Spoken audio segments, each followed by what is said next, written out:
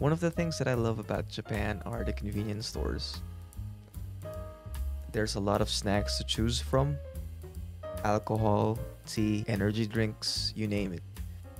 My favorite part of any store, the instant noodle section. Here we have frozen food, fried rice, dim sum, microwavable stuff. Of course, there's bread, very typical, just like any other convenience stores out there. But the thing is, they even sell other stuff like underwear, makeup, and towels. Talk about convenient, well, at least compared to what I'm used to. So, just got home. Here's what I bought alcohol, peanuts, squid, and I even bought sushi. So, tell me what you love about your country's convenience stores.